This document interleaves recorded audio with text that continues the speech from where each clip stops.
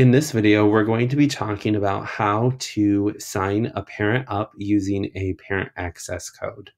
So we're on the Schoology homepage right now. We're going to want to scroll up to the top right hand corner and we're going to hover over sign up and then scroll down to parent and click on it. And that's going to bring us to this new screen.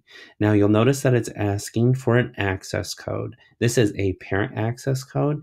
And with this access code, it will connect the parent to their specific child.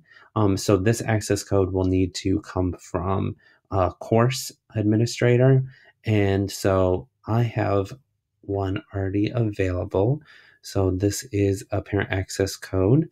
Um, and I am going to copy that and then I am going to paste it right into that access code area and click on continue. Now it's going to bring up this new screen. So the parent will have to fill out this information, their first name, last name, email or username that they want, um, a password, and then confirming it.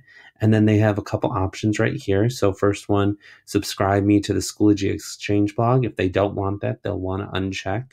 And then down here, this is just making sure that um, by registering, they're agreeing to all the policies. So once you have that all uh, figured out, you're going to click register, and that is going to connect the parent to the child, and they will have their own Schoology account so that they can view grades and other work by their children.